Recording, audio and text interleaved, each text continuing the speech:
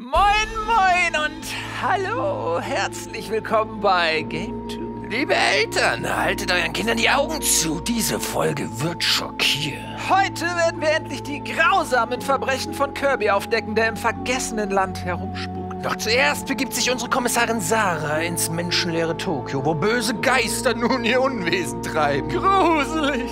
Naja, nicht wirklich, ehrlich gesagt. Nein? Ich habe die ganze Zeit so getan. Das ist überhaupt nicht. Das ist schon Mist, okay.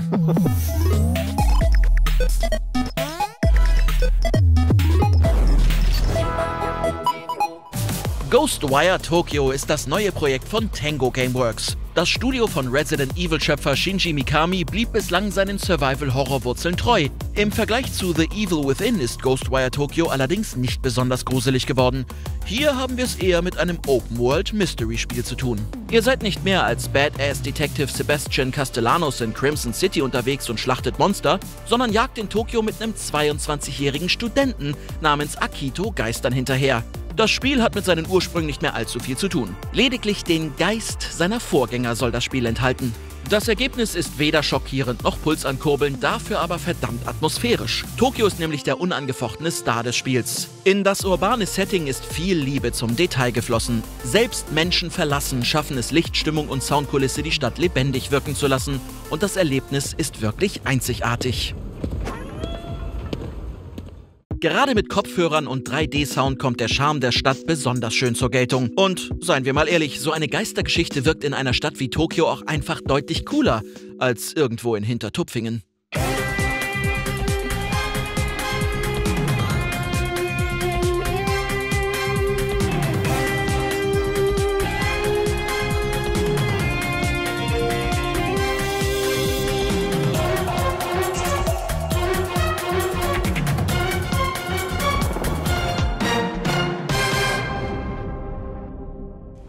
Sarah? In der ganzen Stadt sind Menschen verschwunden und da sind jetzt bloß überall noch Geister. Ja, Sapperlot, müssen wir was unternehmen. Aber aufpassen müssen wir auch, weil da ist jetzt überall so giftiger Nebel ist, gell? Und so maskierter Onkel Tisch rennt auch noch draußen rum. Der wird grad gesehen im Gewürzluigeweg. Das ist in Zatzehause, auf Geht's. Mit dem Auto hast du mal Spritpreise gesehen. Die Strecke kostet locker 1,27 und spätestens bei der Stuttgart 21 Baustelle stehst du wieder im Stau. Stuttgart. Ghostwire Stuttgart würden wir jedenfalls nicht als Videospiel spielen wollen. Da macht Tokio schon deutlich mehr her. Aber was die Story des Spiels angeht, hole ich euch lieber nochmal auf Hochdeutsch ab, auch wenn sie dadurch nicht unbedingt besser wird. Du kapierst es einfach nicht. Los geht's auf der berühmten Riesenkreuzung in Shibuya. Hier zwischen dem ganzen Chaos, brennenden Autos und Klamottenhaufen sucht ein körperloses Wesen namens KK einen Körper. Bei lebendigen Körpern geht's nicht. Aber einen, in dem eigentlich kein Leben mehr steckt. Der vielleicht. Und so finden der verunfallte Akito und der Geist KK zusammen und sind fortan voneinander abhängig. Wenn ich deinen Körper verlasse, bist du Toastbrot. Solange KK in Akitos Körper steckt, verschwindet er nicht ins Jenseits und dafür spendiert er Akito ein paar übernatürliche Fähigkeiten, schützt ihn vor dem mysteriösen Nebel, der die Stadt überzieht und hält ihn am Leben. Was praktisch ist, weil Akito gerade auf dem Weg zu seiner Schwester ins Krankenhaus war, bis ihm das Happening auf der Kreuzung einen Strich durch die Rechnung machte. Win-win sozusagen. Das absolut merkwürdige Duo macht sich also gemeinsam auf den Weg dorthin und ein paar Kampftutorials und durchaus coole Umgebungseffekte später kommen sie am Krankenbett von Akitos Schwester an. Dort wartet Hanya, der böse Maskendude vom Anfang, und entführt die Schwester McGuffin. Äh, Verzeihung, Mari. Also haben Akito und KK, der eh schon ein Hühnchen mit Hanya zu rupfen hat, ein weiteres gemeinsames Ziel und heften sich an seine Fersen. All das wird aber leider ziemlich plump erzählt und der Rest der circa 15-stündigen Story bleibt oft nicht viel mehr als ein fadenscheiniger Aufhänger, um Geister zu kloppen und die Stadt zu erkunden. Und lasst euch das mal gesagt sein, selbst im verlassenen Shibuya gibt's immer noch mehr zu tun, als euch lieb ist. Seid ihr die Spezialisten aus Deutschland? Ja, genau. Danke für die Einladung, Herr KK. Mensch, Shibuya nur für uns, was man da alles machen kann. Dieser riesige Zebrastreife, ganz für uns allein. Wann hätte man das einmal? Ja, wir könnten ein Foto mit der Statue von Hachiko machen, ohne Warteschlange. Oder wir könnten nackt durch die Straße Alles laufen. klar, das könnt ihr gerne machen, aber zunächst müsst ihr mir einen kleinen Gefallen tun. Zuerst befreit ihr bitte 240.300 Seelen. Danach füttert ihr alle Hunde dieser Stadt. Dann sucht ihr bitte noch 52 Jiso-Statuen und betet sie an. Und zum Schluss reinigt ihr bitte noch mal 29 Schreine. Das solltet ihr ja ungefähr hinkriegen. Aber danach können wir schon noch ein Dann habe ich noch eine spezielle Übung für euch. Abmarsch. Das mit den 240.300 Seelen war übrigens kein Scherz. Die befinden sich in Grüppchen von ungefähr 100 als bläulich wabernde Bündel verteilt auf jeder Straße, jedem Hinterhof und jedem Dach. Und was macht ihr dann damit? Klar, ihr bündelt sie in kleinen Papierpüppchen namens Katashiro und gebt sie in der nächsten Telefonzelle ab. Was dachtet ihr denn? Dafür erhaltet ihr Erfahrungspunkte und die Währung Maika. Für letztere könnt ihr in den zahlreichen Shops bei zweischwänzigen Katzenhändlern Verpflegung und andere Items kaufen. Und die Erfahrungspunkte könnt ihr in eure übernatürlichen Skills investieren. Außerdem müsst ihr im Laufe des Spiels die Stadt vom lästigen Nebel befreien, indem ihr Schreine reinigt. Die dienen dann auch zur Schnellreise. Klassischer Open-World-Arbeitsalltag eben. Und das ist noch lange nicht alles, was ihr in der Stadt zu tun habt. Da gibt's auch noch Zeitrennen, das Verteidigen von Dingen gegen Gegnerwellen, das Verfolgen von Spuren und, und, und. Auf geht's, Partner. Interessante Dinge, die euch nicht auf der Karte angezeigt werden, findet ihr per Knopfdruck durch die sogenannte Geistersicht. Damit lassen sich nicht nur solche Verderbnis-Schleimdinger zerstören oder nach Sammelkram suchen, sondern auch mit der Tierwelt kommunizieren. Die Katzen und Hunde sind nämlich nicht verschwunden. Ein absoluter Pluspunkt. Ich meine, schaut euch diesen Doggo an. Man kann ihn streicheln, ihn füttern, seine Gedanken anhören und manche graben sogar nach Geld. Ebenfalls belohnt sind übrigens oft auch die Begegnungen mit Nebenquestgeistern. Die meisten Aufgaben haben mit der japanischen Mythologie zu tun, sind abwechslungsreich und bringen frischen Wind rein. Recht am Anfang begegnet man zum Beispiel einem Geist, der eine Zashiki Warashi sucht. Das ist eine Art Glücksbringergeist in Form eines weinenden Mädchens. Dafür muss man dann in einer engen Mietswohnung Hinweise finden und Verborgenes aufdecken. Andere Geister sind wiederum einfacher zu besänftigen, denn manchmal fehlt es nur an den essentiellsten Dingen. Klopapier! Ich brauche Klopapier! Um all den Seelen mit ihren unterschiedlichen Problemen helfen zu können, braucht Akito natürlich durchschlagende Argumente. Hier kommt wieder Geist KK ins Spiel, denn durch ihn kann Akito statt mit Schusswaffen rumzuballern, Elementarmagie einsetzen, die durch traditionelle Fingergesten ausgelöst wird.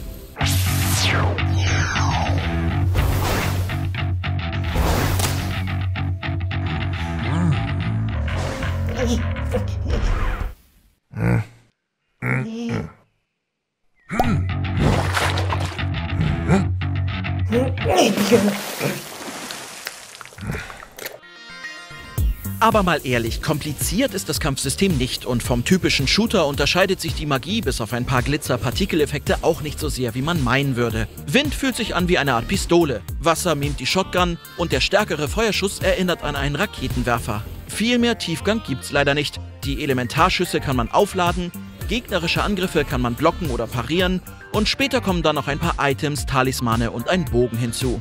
Long story short, ihr ballert eine Weile auf die Geister und reißt ihnen dann den Kern raus. Und so läuft so ziemlich jede Kampfsituation im Spiel ab. Wieder ein Aspekt, den wir leider einfach schon sehr oft und auch besser gesehen haben. Ein cooler Flow kommt hier nicht auf. Was wir aber positiv hervorheben wollen, ist die Einbindung des DualSense-Controllers der PS5-Version. Denn sobald sich actionreichere Szenen abspielen, müsst ihr ordentlich gegen die eingebauten Motoren in den Schultertasten drücken. Und das gibt einem ein klein wenig das Gefühl, dass hier wirklich krasse Mächte am Werk sind. Auch die Kommunikation zwischen Akito und KK wird durch den eingebauten Lautsprecher im Controller etwas Besonderes, da sich KK ja auch im Spiel in Akitos Hand zu befinden scheint. Noch ist es nicht vorbei. Wir sind jetzt ein Team. Also fassen wir nochmal zusammen. Story lame, Kampfsystem so lala, aber die Atmosphäre ist super. Und nun, was sagt uns das? Keine Ahnung, ich bin ja nur Ingo der Sprecher. Sarah, was ist denn nun das Fazit? Generell merkst du an jeder Ecke des Spiels, Auf Hochdeutsch bitte. generell merkt man an jeder Ecke des Spiels, dass es von Menschen entwickelt wurde, die die Stadt, ihre Traditionen und die Mythen des Landes lieben. Vom Gegnerdesign über die Gimmicks mit dem DualSense und vor allem das grandios und vielfältig dargestellte Tokio. Da durchzulaufen und immer wieder neue Kleinigkeiten zu entdecken, macht einfach Spaß. Aber irgendwie reicht diese Welt einfach nicht aus, um über die enttäuschenden Punkte hinwegzutrösten. Für mich braucht es entweder eine spannende Geschichte mit Wendungen oder Charaktere, mit denen ich mitfühlen kann oder abwechslungsreiches und forderndes Gameplay. Aber das ist für mich persönlich beides einfach nicht vorhanden oder in viel zu langen Abständen. Ghostwire Tokyo ist ein Mix aus zu vielen Genres und Gameplay-Mechaniken, die es alle gleichzeitig gut machen will. Aber dadurch macht es halt nicht einzelne Dinge super gut, sondern mischt alles zu einer ziemlich wässrigen Suppe. Und die schmeckt mir halt nicht so gut. Ich hole mir jetzt eine richtig nice Portion Rahmen. Hallo, heute laufen die News etwas anders ab als sonst, aber Abwechslung ist ja bekanntlich was Gutes. Wir starten mit ein paar flotten Meldungen und hinten raus gibt es dann noch zwei größere Themen für euch. Also dann, los geht der News Ticker. In der Kritik. Die von den Medien eher lobgewohnten Moon Studios sehen sich mit Vorwürfen ehemaliger MitarbeiterInnen konfrontiert. Bei dem Ori-Studio soll ein toxisches, zermürbendes Arbeitsklima vorherrschen, unter dem ein großer Teil des Teams leidet. Laut Journalisten von GameSpeed und Windows Central sei dies auch der Grund, warum Microsoft nach Ori and the Will of the Wisps die Zusammenarbeit mit dem Studio beendete. Im Hexerkessel. Mit einem schmucklosen Teaserbild kündigte CD Projekt Red die Arbeit an einem weiteren The Witcher-Teil an.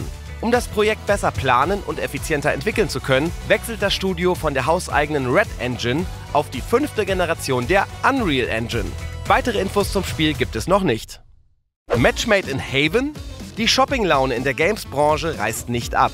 Sony Interactive kauft Haven Studios. Das kanadische Unternehmen wird von Industrieveteranen Jade Raymond geleitet und arbeitet seit geraumer Zeit an einem ersten, noch nicht enthüllten AAA-Multiplayer-Spiel.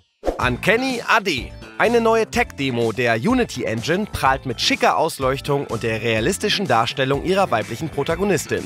Stellenweise ist das Gezeigte wirklich verblüffend nah an Fotorealismus. Kleiner Haken, auch auf aktueller Top-Hardware läuft das Ganze maximal mit 40 Bildern pro Sekunde und nur mit hochskalierter 4K-Auflösung. Ukraine-Hilfe. In den vergangenen Wochen haben diverse Unternehmen Einnahmen für Ukraine-Hilfsorganisationen gespendet. Itch.io, Humble Bundle, Epic Games und Microsoft haben durch spezielle Bundles und Aktionen insgesamt über 53 Millionen US-Dollar gesammelt. Ciao Squad! Die durch die Batman Arkham-Reihe bekannt gewordenen Rocksteady Studios haben ihr Anti-Superheldenspiel Suicide Squad Kill the Justice League ins Frühjahr 2023 verschoben. Die dazu gewonnene Zeit will das Team nutzen, das Spiel weiter zu verbessern. Das war's mit dem Ticker und jetzt gibt's ein Update von Tran zu Gran Turismo 7. Da läuft's nämlich gerade gar nicht rund. Schaut mal, ein Metacritic User Score von 1,6 für Gran Turismo 7. Tendenz fallend. Was zur Hölle ist da wieder passiert? Ich fasse zusammen. Das erste Skandälchen ereignete sich am 17. März mit der Veröffentlichung von Patch 1.07. Dieser Patch war nämlich fehlerhaft und daraufhin musste Entwickler Polyphony Digital Wartungsarbeiten an den Online-Servern durchführen. Da aber selbst die Singleplayer-Parts zwingend eine Online-Verbindung benötigen, war GT7 während der 30-stündigen Ausfallzeit komplett außer Betrieb. Niemand konnte spielen. Der eigentliche Shitstorm entstand dann aber wegen einer inhaltlichen Änderung, die Patch 1.07 einführte. Es geht um drastisch reduzierte Gewinne für viele Rennen in der Kampagne. Dadurch verlangsamt sich nämlich der Spielfortschritt enorm und es drängt sich der Verdacht auf, dass Polyphony auf diese Art Spieler und Spielerinnen zur Tätigung von Mikrotransaktionen bewegen will. Wobei, in Anbetracht mancher Ingame-Preise wären diese Transaktionen gar nicht mehr so mikro. Ein paar Beispiele. In Gran Turismo Sport, wo einzelne Autos ebenfalls für Echtgeld kaufbar waren, kostete dieser Wagen hier noch 2,99 Euro. In GT7 hingegen bräuchtet ihr Credits im Wert von 15 Euro. Und würdet ihr einen Wagen aus dem höchsten Preissegment kaufen wollen, wären gar 190 bis 200 Euro fällig. Solche Mengen an Credits im Spiel zu verdienen, ist nach dem Patch wirklich keine valide Option mehr. Das Webtool des Users DDM999 auf github.io rechnet den Zeitaufwand automatisch aus. Durch ständiges Wiederholen des lukrativsten Rennens würde es 21 Stunden dauern, diesen Betrag zu verdienen und durch normales Spielen sogar 93 Stunden. Die Tatsache, dass zeitlich begrenzte Angebote mancher Autos die Angst vor dem Versäumnis schüren oder dass die täglichen Lotterietickets fast regelmäßig nur die popligsten Preise im Topf ausschütten, macht das Ganze nicht besser. Kurzum, die Ingame-Ökonomie ist komplett im Eimer. Und auf YouTube kursieren deswegen schon diverse Tutorials, wie man mit PC-Makros oder Gummibändern Rennen grinden kann, ohne aktiv spielen zu müssen. Deswegen lässt sich zum aktuellen Zeitpunkt nur sagen, Finger weg von Gran Turismo 7. Wenn das Team von Polyphony Digital sein grundsätzlich gutes Spiel vor dem Totalschaden bewahren will, muss es schnellstens einlenken. Ansonsten fahren sie es gegen die Wand. Von diesem wenig erfreulichen Update kommen wir zu einer hoffentlich erfreulicheren Vorschau. Basti konnte sich Katana Klopper Track to Yomi anschauen und verrät, ob das was werden könnte. Bitte sag, dass es was werden könnte. Bitte. Bei seiner Vorstellung zog der stylische Samurai-Hackepeter Track to Yomi einige Augenpaare auf sich. Und das völlig zu Recht. Der Schwarz-Weiß-Look mit dicker Schicht Filmkorn und schicken Kameraperspektiven erinnert an eine Filmära, in der vor und nach der Action noch viel Zeit für lange Blicke war. Wirklich viele. Lange Blicke. Ganz so viel Zeit ließ sich unsere knapp einstündige Preview-Version aber nicht. Die spult innerhalb weniger Minuten die übliche Du hast meinen Meister gehauen, jetzt hau ich dich Rachenummer ab. Und weil das hier ein Videospiel ist, haut unser Held natürlich auf dem Weg auch noch ganz viele weitere Leute aus ihren Holzschlappen. Und ja, ich muss sagen, bis jetzt hat mich die ganze Ehrenmann-Samurai-Story ganz schön kalt gelassen. Das gab's halt schon 1018,5 Mal so oder so ähnlich. Viel wichtiger ist aber tatsächlich das Erlebnis bei Track to Yumi. Die Aufmachung ist einfach toll. Kontraste, Bildausschnitte und der bereits erwähnte Filmkorn schaffen ein Gesamtbild, das den Filmvorlagen von Regiegroßmeister Akira Kurosawa unglaublich nahe kommt. Oder habt ihr gemerkt, dass ich da gerade zwischendurch kurz auf den Film Harakiri von 1962 umgeschnitten habe? Ha, Krass, oder? Die Designer wissen einfach, wie sie ihre Grafik richtig in Szene setzen müssen. Dabei helfen auch die festen Kameraperspektiven, die an Spiele mit vorgerenderten Hintergründen wie Onimusha erinnern. Die Perspektiven sind dabei so einfallsreich und hübsch komponiert, dass man sich wünscht, neben dem Controller direkt die Packung Popcorn stehen zu haben. Spielerisch sieht's dann leider wieder ein bisschen schlechter aus. Die Kämpfe finden allesamt auf zweidimensionaler Ebene statt. Es gibt also nur vor, zurück, eine wenig nützliche Rolle, Blocken sowie leichte und schwere Haue. Das Ergebnis ist ein schick anzusehender Schlagabtausch, der aber spielerisch, zumindest bis jetzt, noch etwas flach bleibt. Außer bei gepanzerten Gegnern und den wenigen Bossen hat uns eigentlich Blocken, Blocken, Hauen, Hauen immer zum Ziel geführt. Blocken, Blocken, Hauen, Hauen. Siehst du. Aber das kann im fertigen Spiel natürlich anders aussehen. Ist ja klar, dass uns Track to Yomi nicht schon in der ersten Spielstunde für super fordernde Kämpfe stellen will. Sind ja nicht bei Elden Ring. Nein! Ja, es ist wieder so typisch. Außerdem gab es Richtung Demo-Ende schon einige neue Schlagkombinationen und Shurikens zu finden. Da geht in Sachen Komplexität und Abwechslung also sicherlich noch was. Das gilt hoffentlich auch für die Struktur des Spiels. Die teilt sich bis jetzt nämlich ziemlich künstlich zwischen Kämpfen und Erkunden auf. Beim Erkunden könnt ihr euch frei im dreidimensionalen Raum bewegen. Sollt ihr kämpfen, werdet ihr auf die zweidimensionale Ebene beschränkt. Durch diese hermetische Trennung ist also immer klar, was jetzt auf euch zukommt, was dem Ganzen irgendwie die Spannung nimmt. Noch dazu, weil der Ablauf auch hier krass gleichförmig blieb. Die meiste Zeit hieß es da, Gegner hauen, Gegner hauen, erkunden und wieder Gegner hauen, Gegner hauen, erkunden. Ich würde lügen, wenn ich sagen würde, dass mich Track Toyomi jetzt aus den Samurai-Schlappen gehauen hätte. Ich mag das Setting, ich mag die Präsentation, aber spielerisch und auch in Sachen Handlung muss die Vollversion erst noch beweisen, dass sie noch mehr kann als nur schick aussehen. Ansonsten kriegt das Spiel wegen verschenktem Potenzial nur lange, fiese Blicke von mir. Fiese Blicke. Danke, Basti. Und damit sind wir auch am Ende der News angelangt. Ich sage Tschüss und bis nächste Woche, euer Krogi. Also, wenn wir mal ehrlich sind, Kirby war doch schon immer suspekt. Dieses miese Schwein. Viel zu niedlich. Dieses kleine rosa Ding, da muss doch was faul sein. Ja, und dass er seine Gegner einsaugt, auffrisst und ihnen die Fähigkeiten klaut, war eigentlich schon damals bei Kirby's Dream Land ein bisschen creepy. Aber bei Kirby und das vergessene Land hat das nun endgültig zu weit getrieben. Aber nicht mit uns! Wir haben genug von Kirby's Gräueltaten und werden der Welt nun ein für alle Mal zeigen, was für eine brutale, pinke, miese, alte Knutschkugel du bist. Ich konnte nicht glauben, was da passiert ist. Ja, also mit dem Ruhm hat sich Kirby schon verändert. Der Waffenhandel, Arena-Kämpfe, da ist was los. Hot please. Dieser Moment änderte alles. Was hat dieser Scharlatan dieses Mal vor?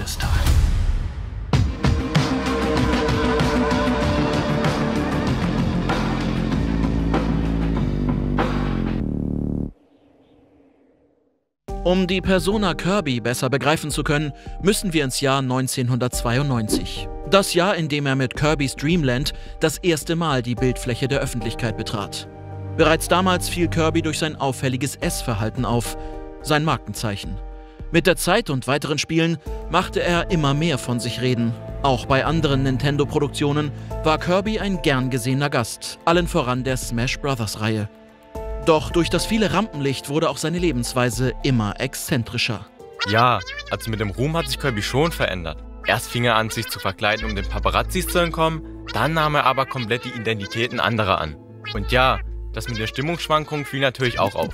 Wenn man so wie Kirby all die Jahre im Mittelpunkt steht, kann man natürlich nicht immer zu 100% souverän agieren. Er und sein PR-Team haben ja auch alles getan, um seine Wutausbrüche zu vertuschen, doch die Medien entlarvten ihn. Kritik wurde laut, auch weil viele seiner Eskapaden reichlich Anspruch vermissen ließen. Kann so einer denn überhaupt ein Held sein? Erst recht, wenn man sieht, wie er mit seinen Widersachern umgeht. Die Fassade des einstigen Nintendo-Helden begann zu bröckeln und immer mehr Leute wollten, dass er zur Rechenschaft gezogen wird. Und da kam ich ins Spiel. Mein Name ist Erwin Mittler. Ich bin Lieutenant und führender Ermittler im Fall Kirby und das vergessene Land. Ich wurde natürlich sofort hellhörig, als man mir mitteilte, dass Kirby in einer fremden Welt gesichtet wurde. Mein erster Gedanke war, was hat dieser Scharlatan dieses Mal vor? Meine Ermittlungen ergaben schnell, dass sich nicht nur Kirby, sondern auch viele andere Wesen des Planeten Popstar unter mysteriösen Umständen im vergessenen Land strandeten und so das Leben der tierischen Einwohner auf den Kopf stellten. Da war diese Gang, das sogenannte Bestienrudel, die handelten sofort. Sie nahmen die Störenfriede aus einer fremden Welt in Gewahrsam. Dabei konzentrierten sie sich vor allen Dingen auf Waddle Dees, weitestgehend harmlose Individuen. Ja, und das ließ Kirby nicht auf sich sitzen. Zusammen mit einer neuen Komplizin, dieser geheimnisvollen Elfilin, setzt er sich das Ziel, seine Leute zu befreien. Zu diesem Zeitpunkt war für mich und wahrscheinlich niemandem klar, was für ein Ausmaß Kirbys neuestes Abenteuer besonders am Ende annehmen würde. Ich war schockiert. Wir haben natürlich nicht nur Kirby beschattet, sondern auch sein Umfeld. Lange sah alles nach einem klassischen Rachefeldzug aus. Aber Nachforschungen im Bestienrudel haben verblüffende Erkenntnisse hervorgebracht. Im Schatten scheinen mächtige Personen und Organisationen die Drähte zu ziehen. Wirklich unglaublich. Wir von der Presse waren natürlich auch an den Ereignissen interessiert. Und was meine Quellen mir zugespielt haben, das glich wirklich einer riesigen Verschwörung. Das traf das Sheriff Department aus dem Nichts. Für Lieutenant Mittler war vor allen Dingen erstmal wichtig zu rekonstruieren, wo Kirby im vergessenen Land unterwegs war, was er gemacht hat und wen er traf. Anfängliche Ermittlungen zeichneten ein bekanntes Muster trotz richtiger 3D-Premiere. Kirby rannte, hüpfte und flog in abgesteckten Arealen von A nach B und war auf der Suche nach den Waddle Dees. Ich sichtete ihn unter anderem in der Stadt, an der Küste oder auch auf dem Jahrmarkt. Dabei machte er mit allem mühelos kurzen Prozess, was sich ihm in den Weg stellte. Aber auch wenn Kirby dabei mehr Freiheiten als früher genoss, hatte ihm da sein Kollege Mario immer noch deutlich was voraus. Auch mit mehr Platz ging Kirby vor, wie man es von ihm gewohnt ist. Durch das Aufsaugen von bestimmten Widersachern schlüpfte er in ihre Rollen und übernahm so deren Fähigkeiten. Ohne Verkleidung sah man den vermeintlichen Nintendo-Helden selten. Warum auch? Wie alle Welt weiß, blüht Kirby erst dann richtig auf, wenn er einen Hammer schwingt, sich in eine Stachelkugel verwandelt oder Feuer spuckt. Und natürlich ist der Knirps in der Lage, die Angriffe seiner Gegner gekonnt zu blocken und ihnen auszuweichen. Kirby zeigte aber auch ungewöhnliche Verhaltensweisen. Nicht nur Feinde wurden von ihm aufgesaugt, sondern auch Alltagsobjekte verschiedener Art. Dieses Vollstopfen mit Autos, Getränkeautomaten, Pylonen und anderen Dingen hatten gehörigen Einfluss auf sein Auftreten. Plötzlich untersuchte Kirby die Umgebung nach möglichen Geheimnissen und Verstecken. Als Auto raste er durch die Gegend und versuchte sich als Rennfahrer. Und er fand seine Leidenschaft für den Extremsport. Halsbrecherische Ausflüge wie diese Flugeinlage waren im vergessenen Land keine Seltenheit. Für wen hält er sich eigentlich? Glaubt er, er kann mich mit seinen Hobbys an der Nase herumführen? Und dann ist dieser Hochstapler auch noch so dreist, immer wieder an bekannte Orte zurückzukehren. Befragungen der Ortsansässigen ergaben, dass Kirby noch weitere offene und teils geheime Aufgaben in seiner Agenda hatte und deswegen immer wieder zu alten Wirkungsstätten zurückkehrte.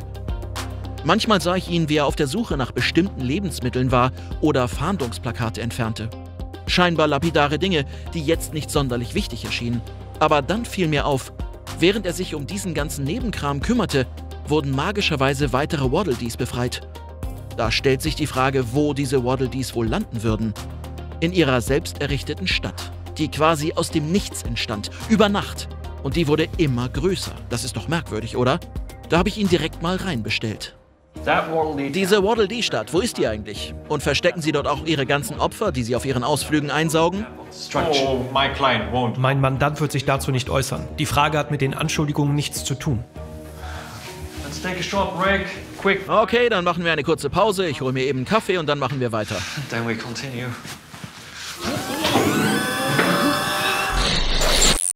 Boy. Das ist ganz schön eskaliert. Uh, yeah, Waddle Dee Town, I heard of it. Ja, von der Waddle Dee Stadt habe ich auch gehört. Von außen betrachtet ein ganz normales Dorf. Aber ich sag's Ihnen, Waffenhandel, Arena-Kämpfe, da ist was los. It's a really hot place. Die geretteten Waddle Dees mussten sich ja nach der Befreiung irgendwo zurückziehen. Also errichteten sie direkt eine ganze Stadt, die als eine Art Basis diente. Kirby und die Waddle Dees, das war schon eine eingeschworene Gemeinde. Die hielten zusammen. Das ging sogar so weit, dass Kirby bei einem Imbiss aushalf und Essen austeilte. Oder in der Arena zur Unterhaltung gegen bereits besiegte Bosse kämpfte. Ich habe meine berechtigten Zweifel, ob das da alles legal zuging. Besondere Sorgen bereitete mir aber der Waffenhändler, zu dem Kirby immer gegangen ist. Ob ich den Kontakt zu Kirby bereue? Nicht wirklich. Ich habe einfach keine Fragen gestellt. Kirby kam zu mir mit diesen Plänen für neue Waffen, die er bei seinen Ausflügen fand. Er hatte die Kohle, er hatte die seltenen Steine. Da wäre ich doch schön blöd, wenn ich ihn vor die Tür gesetzt hätte. Ich habe mir an ihm eine goldene Nase verdient. Das Prozedere mit den Waffen lief meinen Nachforschungen zufolge so ab. Diese Blaupausen, die hat Kirby gefunden. Warum die einfach so in der Welt herumlagen, weiß ich nicht. Gut versteckt waren die nie. Die Blaupausen waren aber auch nur die halbe Miete. Neben ausreichend Kohle brauchte der Waffenhändler auch seltene Steine. Die hat Kirby nur durchs Erledigen spezieller Herausforderungen bekommen. Das alles nannte sich Straße der Schätze. Da hat er stellenweise schon Kopf und Kragen riskiert. Aber das hat sich für Kirby gelohnt. Der Waffenhändler konnte so einige wirklich gefährliche Waffen zusammenbasteln. Die Stadt war mir ein Dorn im Auge. Ich konnte sehen, wie viel Spaß Kirby und die Waddle Dees da hatten. Schlimm. Und dann war Kirby auch noch so dreist und stachelte immer wieder einen anderen Waddle Dee an, ihn zu begleiten. Dann waren die zu zweit unterwegs und terrorisierten die Gegend. Gut, dieser Speerkämpferknabe hatte jetzt nicht ganz so viel auf dem Kasten wie Kirby. Als ich sah, wie unbeschwert die beiden im Duo sich durch die verschiedenen Abschnitte prügelten, war für mich das Maß voll. Ich hatte genügend Beweise gesammelt, um mir von der Staatsanwaltschaft einen Haftbefehl ausstellen zu lassen und diesen Kriminellen endlich zur Rechenschaft zu ziehen. Nein, sie arrest wasn't surprising. Überraschend war die Verhaftung nicht. Ich glaube, das haben wir bei der Presse alle kommen sehen. Doch dass die Gerichtsverhandlung trotz großem öffentlichen Interesse hinter verschlossenen Türen stattfand, war eine Frechheit. Unexpected. Die Presse hatte schon genug für Kirbys Personenkult getan. Ich war froh, dass der Prozess unter Ausschluss der Öffentlichkeit geführt wurde. Dauerte ja auch lange genug. Unzählige Zeugen wurden befragt. Es sollte ja ein für alle Mal geklärt werden, ob Kirby ein Vorbild oder ein Verbrecher ist. Allerdings merkte ich schnell, dass die Jury daran nicht interessiert war, was mit den Leuten passierte, die Kirby aufgesaugt hatte. Sie sahen nur seine Heldentaten. Ausschlaggebend war auch, dass die Waddle Dees nur positiv über ihn sprachen. Dabei waren die ja ganz früher auch mal verfeindet. Ich hatte gehofft, dass sich wenigstens einer gegen Kirby wendet, aber so kam es, wie es kommen musste. Dem Richter blieb am Ende nichts anderes übrig, als Kirby freizusprechen, zur sichtlichen Enttäuschung von Lieutenant Mittler. Der Rummel brach nach dem Urteil aber nicht ab, ganz im Gegenteil. Sämtliche Medien wollten ein Stück vom Nintendo-Helden haben. Die meisten Interviewanfragen hat er abgelehnt, außer meiner. Ich durfte mit Kirby sprechen und ich konnte nicht glauben, was da passiert ist. Kirby, wie würden Sie denn Ihre Zeit im vergessenen Land bewerten? Bereuen Sie irgendwas? Ich habe mir nichts vorzuwerfen. Meine Zeit im vergessenen Land war überaus kurzweilig und unterhaltsam. Ich habe viele abwechslungsreiche Dinge erlebt und auch neue Freunde gefunden. Natürlich hätte ich mir gewünscht, dass der ganze Trip etwas fordernder gewesen wäre, aber da ich immer mal wieder was Neues erleben durfte, ging das schon klar. Und ich konnte mit meinem Kumpel Waddle Dee um die Häuser ziehen, was immer toll ist. Dass sich die Story am Ende so unnötig aufbläst, geschenkt. Denn ich durfte mal wieder in super viele unterschiedliche Rollen schlüpfen, das ist viel wichtiger. Von daher würde ich sagen, Kirby und das vergessene Land das ist ein gelungenes Kapitel in meinem Lebenslauf. Speaking of, wo Sie das mit den verschiedenen Rollen ansprechen, was passiert denn nun mit den Leuten, die Sie aufsaugen? Die kommen doch dabei um, oder? Die haben Sie doch auf dem Gewissen. Also, Sie werden wohl verstehen, dass ich mich auch an dieser Stelle nicht dazu äußern werde. Ist das Interview damit beendet? Schön. Vielen Dank. Dürfte ich vielleicht kurz das Bad benutzen? Äh, Natürlich. Das Badezimmer ist dort drüben. Over there.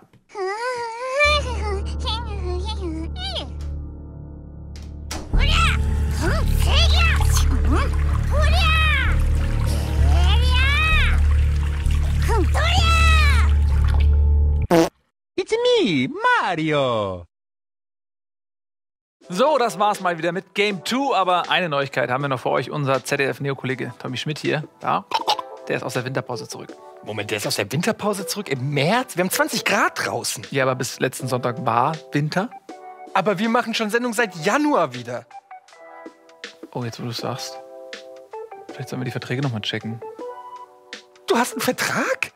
Ähm, wieder schauen. Reingehauen?